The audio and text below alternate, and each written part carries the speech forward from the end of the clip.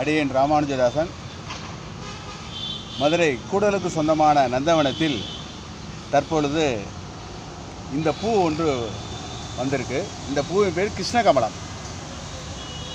கிருஷ்ணகமலம் இந்த கிருஷ்ணகமலம் பூ எப்படி இருக்குன்னா கீழே நூறு இதழ். அதுக்கு மேலே ஒரு அஞ்சு இது அதுக்கு மேலே ஒன்று அதாவது இந்த நூறு இதழ் எதை குறிக்குதுன்னா கௌரவர்களை குறிக்குது.